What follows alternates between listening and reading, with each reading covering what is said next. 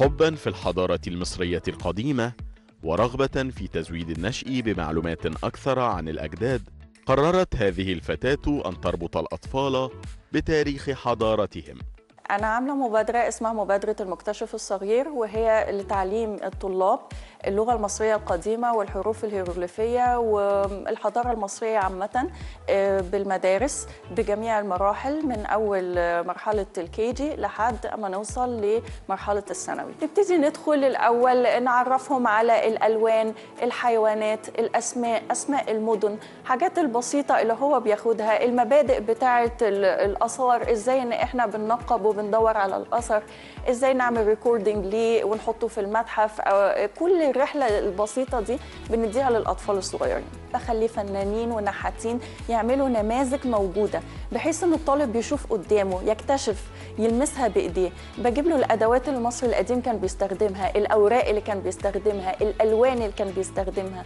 فكل الحاجات دي لما بيشوفها بعينيه بيبقى قادر إن هو يفهمها.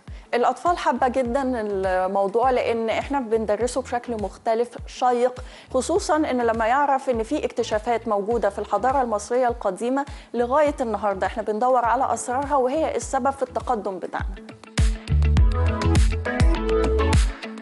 قول لي استفدت إيه من النشاط ده؟ ال... إن ال... إن أي لون من مصر القديم بير... بيرمز على حاجة ان المفروض إن إحنا بنحط الصلصال على الكرمه إيه أكتر لون حبيتيه؟ آه البنية ليه؟ عشان بيدل على الأرض وإحنا دلوقتي واقفين على الأرض. عملت الصلصال أجيب اللون ع- ع- عليه زي هنا.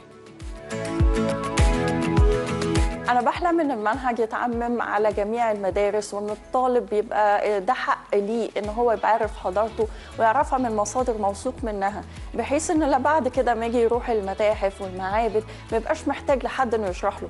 هو فاهم وعارف كويس جدا كل قصة ورا كل تمثال وكل أثر موجود.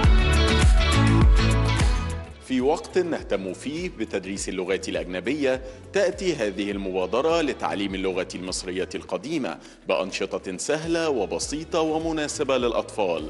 ليستطيع الجيل الجديد فهم واستيعاب حضارة أجداده منذ الصغر. فريد إدوار إم بي سي مصر.